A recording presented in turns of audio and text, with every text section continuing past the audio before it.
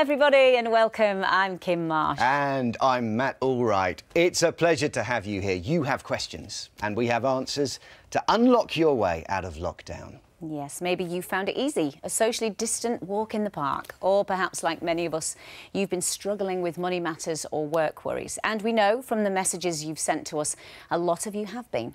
However you feel, we have assembled the ultimate team, our helpful Hall of Fame, to turn all your troubles into triumphs. Oh, I do love this little lot. Gloria Hunniford, Angela Rippon, Nikki Fox, Ashley John Baptiste, and the financial godfather himself, Alvin Hall, over in New York. Imagine that, New York. You were ahead of the curve yesterday, by the way. Kim. Always am, always am. Well, you were in the Trafford Centre ahead of it opening, and of mm. course, then today in the news, we've, we've seen all the pictures of the queues.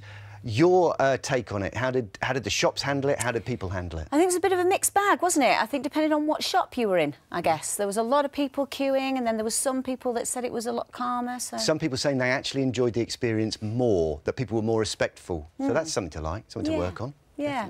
How, how, did you find it? Let us know. Let us know what your shopping experience was like because they may be daunting right now, but there is still something nice about being able to take the things you've bought away, knowing that they're in one piece because you can't always say that with deliveries right now how many complaints about stuff that's damaged or gone missing? Uh, a, a flipping loads. A virtual sack full. It's bulging. Not just because they're getting it wrong, but because you're struggling to get heard when it does. But fear not, because coming, coming up, up, on, on the, the show, show We've got someone whose job is getting your complaint to resonate. Yes, when it seems like no one else is listening. The Countess of Complaining, Alex Neill, gets results. And she's the apprentice queen of mean, but now she's on your team. The Hemingway of the resume, Linda Plant will be here to help you with your CV if work is looking shaky right now. It's actually very nice. Yeah, yes, and she's going to help you, lots of you, with some top drawer advice. And we'll show you how to cope if, like the man we're going to meet, you are scammed out of your life savings. Matt, when was the last time that you actually handled physical cash? Uh, when I've got a big jar on top of my desk full of pennies, I knocked that off and I had to put them all back in the jar. Apart from that, not for absolutely ages. I suppose when you go to a corner shop and they've got like a £10 limit and then you have to go and get some, some cash just to pay slightly less than £10. Otherwise, for me, not for everybody, contactless is definitely the way to go. Yeah, well, you say that, but here's a stat, Matt. One in five of us relies on real money and for whatever reason can't or won't use cards. So, what are you meant to do?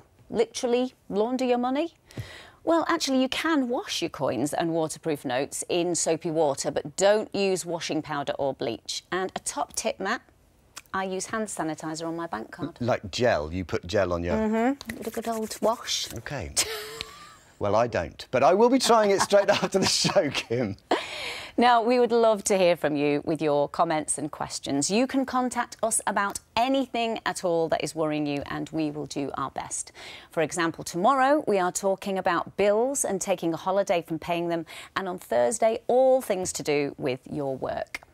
These conversations simply can't start without your questions, so call us on 0208 738 2222. You can email us at yourmoneyandyourlife at bbc.co.uk. Follow us on Facebook, BBC Your Money and Your Life, and we're on Twitter at BBC Money Life. Yes, we are here for you, so please get in touch.